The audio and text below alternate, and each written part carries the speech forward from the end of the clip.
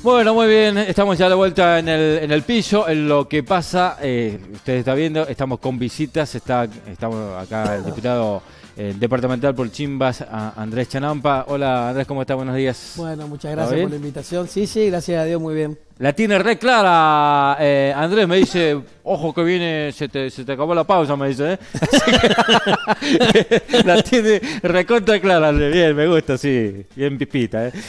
¿Cómo estamos, eh, Andrés? Trabajando mucho, seguramente, bueno, estamos en plena, pleno trabajo en el año, mitad de año. Sí, sí, sí, sí, la verdad que, bueno este año prácticamente está pasando muy rápido, ya estamos a mitad de agosto del octavo mes del año. Mm. Cuando quieramos acordar, vamos a estar brindando ya, sacando la sidra del la, eh, la verdad que se han adelantado mucho los tiempos, me parece que también uno venía con un ritmo en cuanto al tema de la pandemia, un poquito más pausado, pero bueno, los que somos dirigentes políticos no dejamos de hacer política, tengamos un cargo, como en el caso mío, o no, lo hemos hecho toda la vida.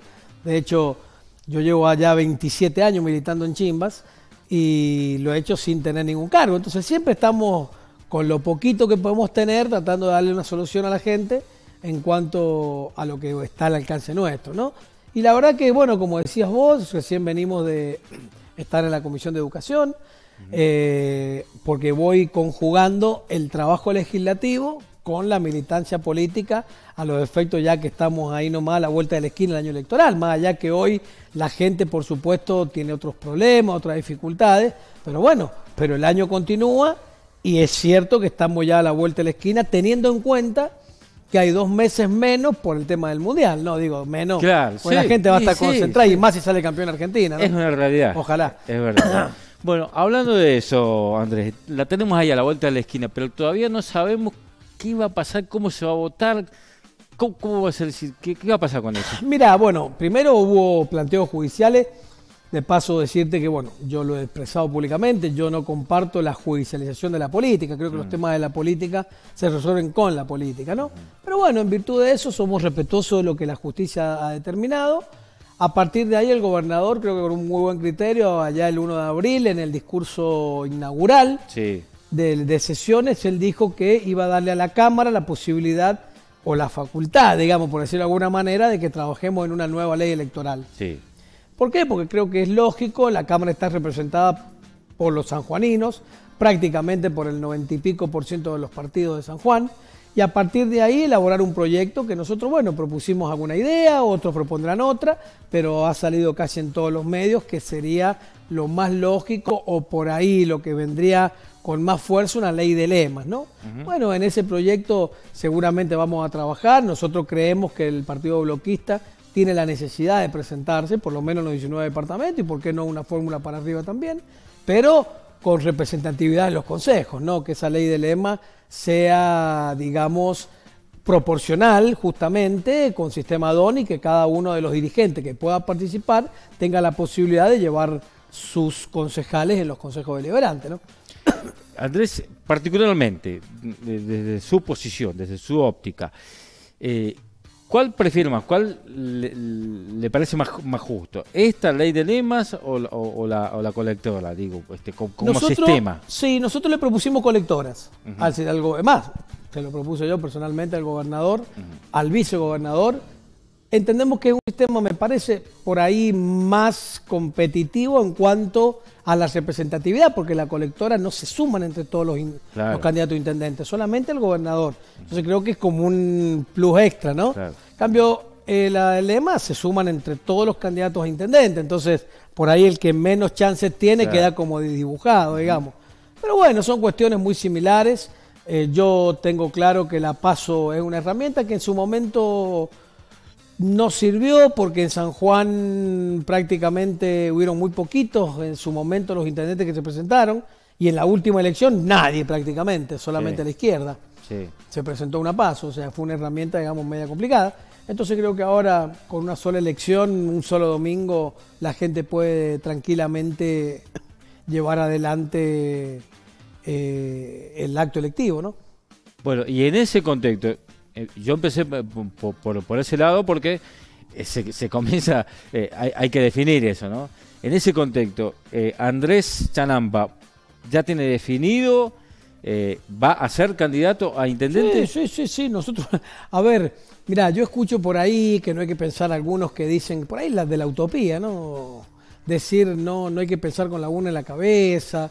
Mira, te vuelvo a decir como lo que te dije al principio, si bien hoy están otros problemas mucho más graves, hoy la sociedad no está pensando en una cuestión eleccionaria, pero el año político va paralelo, es decir, ya tenemos prácticamente, y más si hay un rumor muy fuerte de que se adelanten las elecciones, los plazos se adelantan totalmente, tener cinco o seis meses más, ya vas a tener los candidatos. Entonces me parece que uno tiene que seguir trabajando. Yo no lo hago desde ahora, lo vengo haciendo desde, como te dije recién, de hace 27 años, y en el departamento donde yo vivo y milito, ¿no? Entonces, eh, todas las chances de ser por lo menos precandidato, mi partido así lo ha expresado, el presidente del partido lo ha expresado en el partido diciendo o pidiéndonos a los que tenemos por ahí trabajo territorial de que salgamos a militar y a posicionarnos. Yo vengo sosteniendo que el bloquismo debe ser protagonista en los departamentos y en Chimba, por supuesto, y más también teniendo en realidad que eh, el actual intendente no puede repetir, ya termina su mandato porque también somos muy respetuosos, estamos dentro del mismo frente, pero bueno, ya termina y él se va, ¿no? Entonces vamos a seguir trabajando en esto para que haya una continuidad, para que todo lo que se ha hecho bien se siga haciendo, lo que falta por hacer se haga con nuestra impronta, por supuesto, ¿no? Lo llevo al plano eh, del partido, partidario, ¿no? Mencionó a Luis al presidente del bloquismo. ¿Cómo está el bloquismo posicionado a nivel global, general en la provincia, incluyendo los departamentos? ¿Hay candidatos? ¿Se está trabajando? Mira, nosotros tenemos la, obligación, como te dije, primero hay que ver cómo va a ser la ley electoral. Claro. Si la ley electoral, vamos a suponer que sea como se viene diciendo, que va a ser una especie de ley de lemas, con participación a lo mejor a gobernador, ¿por qué no el partido puede llevar una lista?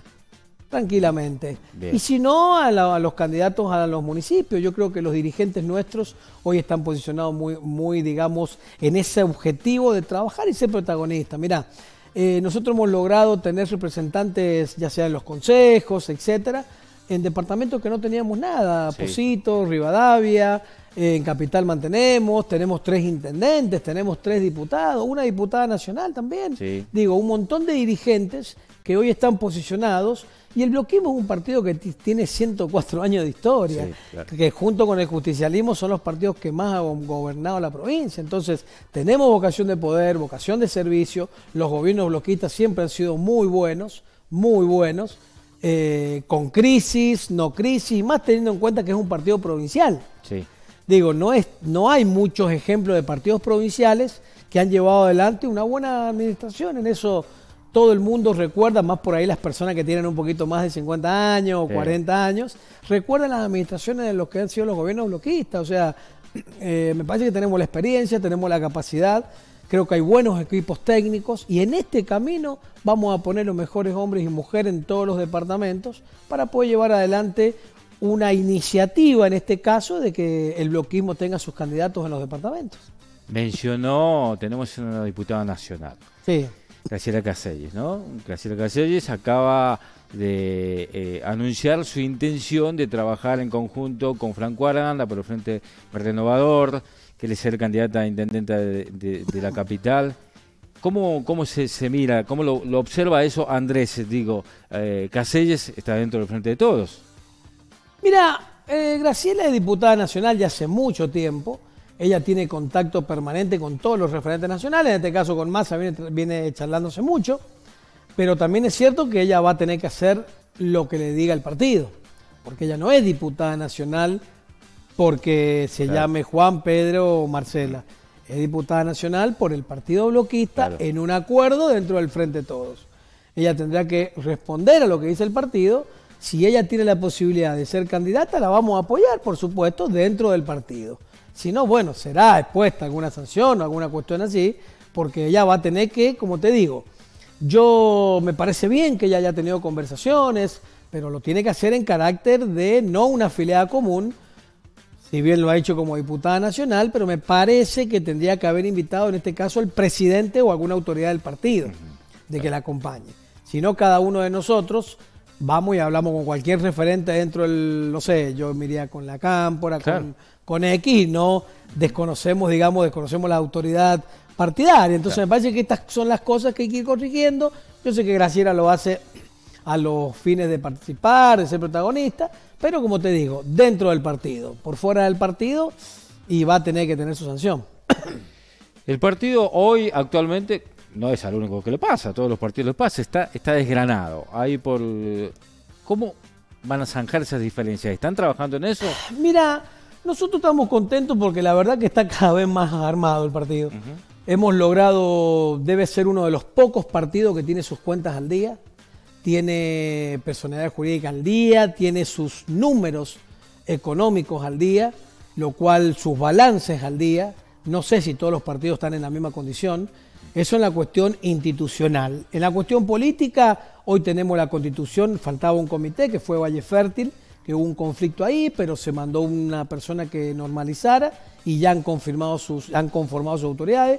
Hoy tiene el partido los 22 comités funcionando, tiene su juventud funcionando, sus mujeres funcionando, su cuerpo técnico. El partido bloquista es el segundo partido en San Juan con afiliados después del justicialismo, así que no es cosa menor. El bloquismo en cualquier frente que esté le da su prestigio, le da su, su, historia, pero bueno, nosotros entendemos que vamos a seguir en este caso acompañando al proyecto del gobernador, porque creo que le ha hecho muy bien a San Juan, por lo menos el gran porcentaje de lo que piensan de los dirigentes, pero bueno, el año que viene se vendrá la convención, se discutirá, pero me parece que el camino es ese, ¿no? Yo creo que el partido hoy está cada vez más armado, es un partido, como te dije, con mucha historia y con mucha trascendencia en lo social, en lo económico, en lo político, en la provincia de San Juan.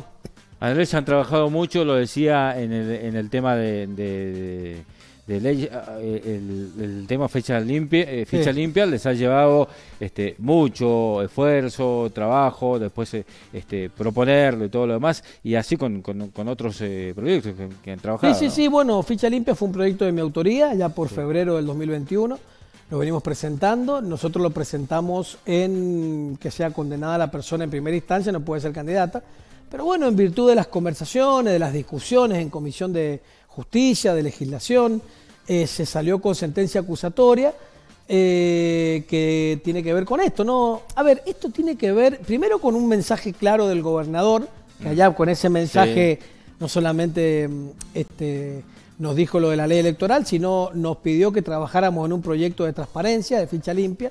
A los efectos es una herramienta más que la ciudadanía tiene a su disposición. La ciudadanía venía sugiriendo estas herramientas, como también en un momento también se debe tratar el acceso a la información pública, que es un proyecto también presentado por el bloque nuestro. Pero me parece que son herramientas, como te dije, la persona no solamente quiere cada vez más gobernantes idóneos, sino también lo más transparente posible. Entonces también nosotros lo presentamos y salió así, no solamente para cargos electivos, sino para ejecutivos y cargos partidarios, porque entendemos que el partido político es la primera herramienta que se, digamos, se utiliza para llegar a un cargo. Y también el cargo ejecutivo, porque si no, está este dicho, viste, de la gente, ah, se va de tal lado y se va a otro cargo para tener su fuero, para tener su, su cuestión de impunidad. No, no, no, no, las cosas como son. Eh, persona que esté sentenciada no puede ser candidata y es todo lo que aprobamos. Así que creo que ha caído muy bien en la sociedad. San Juan es la quinta provincia en el país que se prueba, pero con una particularidad. Una que es la primer provincia hasta ahora que fue anunciada en un discurso del gobernador anual. Y es la primer provincia de corte em, oficialista, porque las otras cuatro es Mendoza, eh, Chubut, Jujuy y me está faltando una, creo que Salta. Salta, claro. Que son, digamos, de la oposición. Así que me parece que se tiene un plus extra también, ¿no? Bueno. Andrés, no tenemos mucho más tiempo, pero mucho para conversar, así que más adelante nos vamos a, lo vamos a ir convocando para que, porque ya va, va a poner en marcha su, su, campaña para ser Sí, sí, sí, seguramente no va a ser la, la, última vez. Eh, cuando ustedes lo, soliciten vamos a estar a disposición. Pero nosotros, como te dije recién, ya venimos caminando todos los días. No de esta campaña, lo venimos haciendo hace muchos años. Y creo que este es el momento también para llevar una propuesta que también entienda que, que no venimos ni a decir o este discurso de que si no se vota tal propuesta se rompe lo que se hizo. Eso es parte de lo viejo. Nosotros entendemos que el, Chimba está condenada a seguir creciendo en el marco del desarrollo, en el marco de la producción, en el marco de la, industria, porque es un departamento que tiene todos los sectores. Tiene su parque industrial, su sector agrícola, su sector comercial, si bien es chiquitito, porque no debe tener más de 7 por 5 kilómetros, pero es un departamento que tiene muchísimos habitantes, yo calculo que 120 mil aproximadamente, que es de muy buena gente y está destinado, como te dije, a seguir creciendo por la calidad de gente que tiene, pero también otro detalle, que en esto, si me permitís, y con esto ya te termino, nosotros aprobamos una ley que es la ley de coparticipación, un mensaje del gobernador. Muy importante también. Esa ley a vos te obliga a que cada departamento tenga los recursos básicos. Entonces, esta cuestión de decir yo no voto a tal o si no votan a que yo dejo, eh, va a perder. No, eso no es así. Eso, te vuelvo a decir, eso es parte de lo viejo. Yo creo que eh, quien venga en Chimba, sea un hombre, una mujer, este, va a seguir condenado a crecer porque tiene garantizados los recursos del departamento. Obviamente cada persona que venga le pondrá su impronta. En el caso personal estamos mucho apuntando al tema educativo que vengo de ese, de ese lugar y creo que es el desarrollo por naturaleza, la educación de un departamento. Me encantó ese título. Chimbas está condenado a seguir creciendo. ¿eh? Está condenado a seguir creciendo independientemente del color político. Obviamente uno quiere que sea del frente que represente, pero por una cuestión de cercanía, por una cuestión de que tiene, como te dije, todos los sectores y porque tiene un presupuesto que también ayuda mucho a que se hagan obras. Mira, el gobernador de San Juan siempre lo digo yo, se van a poner celosos los otros intendentes o los otros departamentos, pero dice que Chimba es su segundo departamento después de Posito. ¿Por qué? Si vos te pones a pensar, todas las obras del departamento, el gobernador ha hecho un fuerte inversión. El predio ferial, las cloacas, la Ruta 40, el parque de Chimba, los pavimentos, la iluminación, los diferentes fondos que envía. Entonces me parece que está, como te dije, es un departamento que ha crecido mucho y que va a seguir creciendo. Andrés, muchas gracias por venir. Muchas ¿eh? gracias a ustedes por la invitación. por una próxima visita. Pero cómo no, saludo a la audiencia. Andrés Chenampa, el diputado departamental por Chimbas, aquí en Lo que pasa en Sonda TV después de la pausa.